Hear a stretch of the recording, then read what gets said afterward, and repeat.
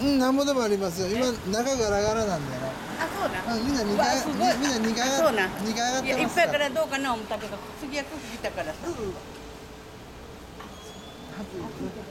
だけど出てきて。はい。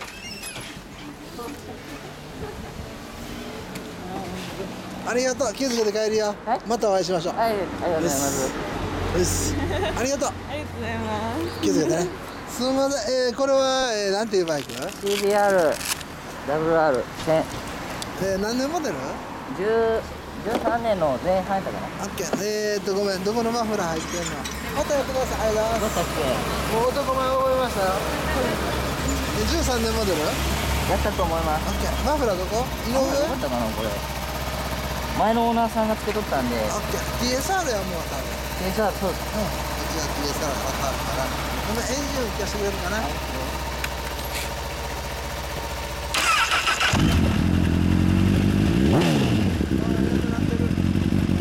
りがとうございます。はい、すいません。ごめん。これなんていう、どこのメーカ川崎ーえー、なんていうバイク？Z250 何年モデルかな？16年 ?16、わ、最新型やんか、ぐっと。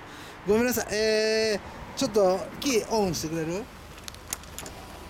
おかっこええなおええ感じええ感じ。ごめんなさい。エンジン音聞かせてもらえるかな？はい。おええ感じええ感じ。よっしゃ。OK まあまたがって。いや可愛らしいのつけて。え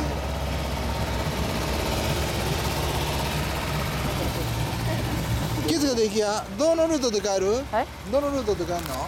道路ととりあえず、美濃の滝行くから、美濃方面とりあえず。あ、オッケー。あのね、えー、ほんなら、近畿道乗ると思うんやけど、近畿道乗るときに、さっきに三原の入り口が見えてくるわ。はいはい。それ乗ったら500円高いから、無視して。で、松原まで、松原。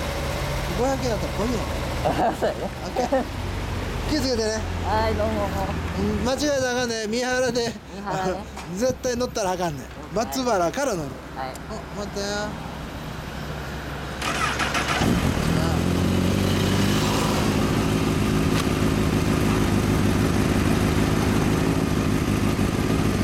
早ければ今晩あげるわ。